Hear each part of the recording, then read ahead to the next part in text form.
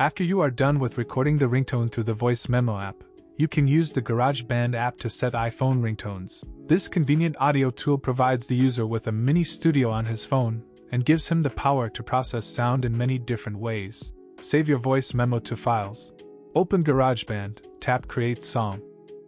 Tap Voice. Tap the View button. Choose Loop Browser button. Tap Files to choose the voice memo you want to convert. Hold and drag the voice memo to the left to add it to GarageBand. Use the trimming and split editing features to make the 30 seconds ringtone.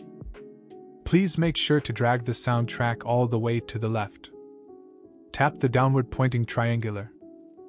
Tap My Songs to save the audio you just create.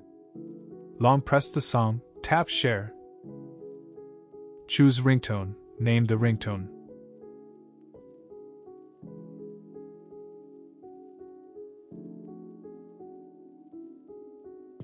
Now you can go to Settings, Sounds and Haptics, Ringtones to have a check.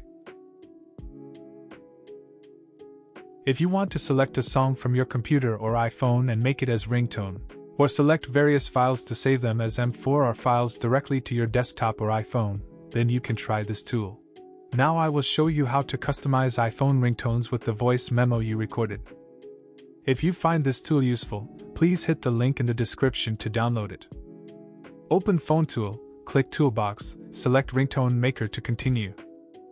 This feature is available in its advanced edition. Tap Select from Device to locate your voice memo files from your iPhone directly. View and choose music you needed. Tap on Select. Edit the music as you like, it will generate M4R files automatically. Then tap on Save to Device to transfer it to your iPhone. Now you can access the voice memo by going to iPhone Settings, Sounds and Haptics, Ringtone. Then click the file and personalize your iPhone ringtones. Thanks for watching till here.